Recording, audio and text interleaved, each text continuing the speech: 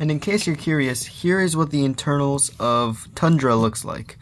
Uh, we got the weapon motor, uh, front left, battery front right, two N20s direct driving these uh, 3D printed wheels with electrical tape and hot glue on them.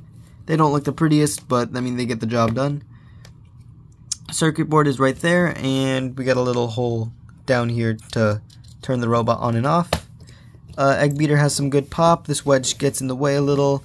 Uh, I'm planning on making it a slot design. Uh, I messed up the measurements at first, so uh, it currently does drive upside down, but the Egg Beater will not work while it's upside down. So that is another fix for if and when I make version 2.